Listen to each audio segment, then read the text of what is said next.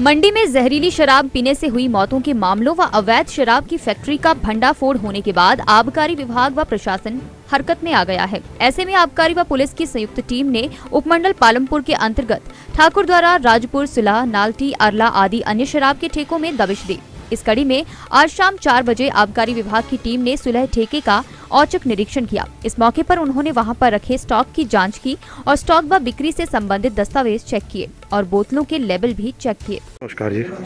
Divya Himachal TV में आपका स्वागत है, सर। सर, जिस तरह जो मंडी में जो लिक्विड का जो केस हुआ उसमें जो आठ की जो लोगों में उसमें डेथ हुई है उस संदर्भ में जो मतलब रेट जो चल रही है हर एक मतलब डिस्ट्रिक्ट में चल रही है जगह जगह चल रही है उस संदर्भ में आप क्या बोलना चाहेंगे सर? देखिए ये तो एक अलग इशू है जो हमारा पर्पज़ है ये एक एक्साइज हमारे जो कमिश्नर साहब हैं शिमला में जी। के उन्होंने एक टीम बनाई है और उसको मैं Ujjwal Singh Rana joint commissioner state exchange excise उसको लीड कर रहा हूँ। इसमें दस मेंबर और भी हैं। विभिन्न जिलों से हमने जो इसमें इंस्पेक्टर्स लिए हुए हैं। ये टीम जो बॉटलिंग प्लांट जो गलू में था जिसको पीछे कमिश्नर साहब ने दो दिन पहले जिसका लाइसेंस अभी कैंसिल हुआ है जहाँ पर सस्पेंड हुआ है लाइसेंस जिसमें ग्यारह हज़ार लीटर स्पिरिट फालतू पाई गई थी और कम पाई गई थी इनफैक्ट उसको जो है उसकी लिंकेज बनाई गई है।